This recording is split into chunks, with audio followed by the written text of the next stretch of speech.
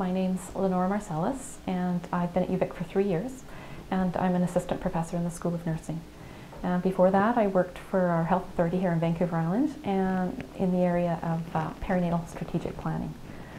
Uh, so my research has definitely continued on in that area, and uh, much of my research happens in partnership with the health authority and other organizations that are related to healthy families.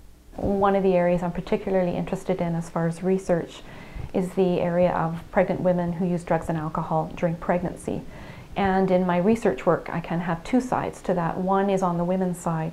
Um, for example, a very exciting initiative here in Victoria called Her Way Home, which is a one-stop shop model for pregnant women with addictions, which really wraps around the services that women need.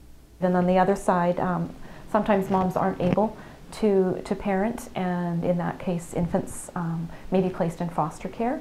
And I also work with foster parents and the children's ministry in a program called Safe Babies, which is about having uh, well supported, well educated foster parents who can manage the particular health and social challenges that come with that group of infants.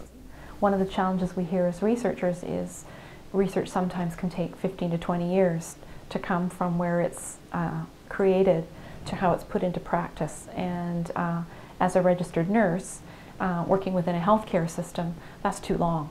And so how can we move that forward? And a big way to move that forward is to be doing research in partnership with our communities.